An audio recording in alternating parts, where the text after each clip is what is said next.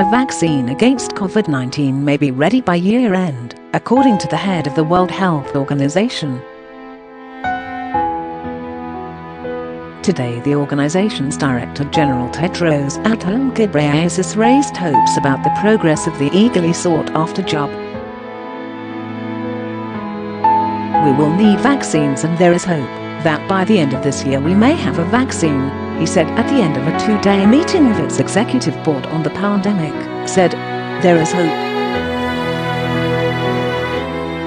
Mr. Ghebreyesus did not go into further details or refer to a specific vaccine effort. At the moment nine experimental vaccines are in the pipeline of the WHO-led COVAX Global Vaccine Facility.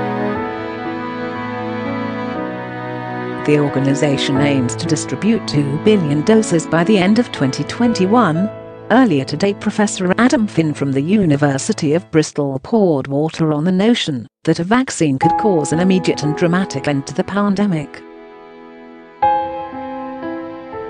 He said it is likely to be given to older people first.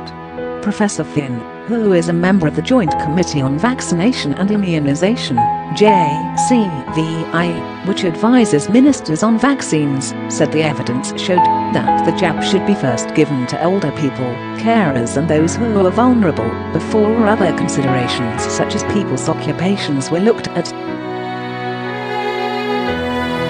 It comes after Health Secretary Matt Hancock told the Commons on Monday that the government would follow JCVI advice on who to vaccinate. Mr Hancock has distanced himself from comments made by the head of the UK Vaccine Task Force, who said less than half of the UK population could be given a jab to protect against the virus.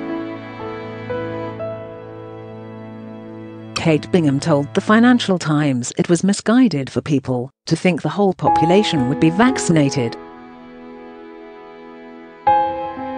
She said, it's an adult-only vaccine for people over 50 focusing on health workers and care home workers and the vulnerable. But when asked about her comments, Mr. Hancock said it was a matter for his department and it would take advice from the JCVI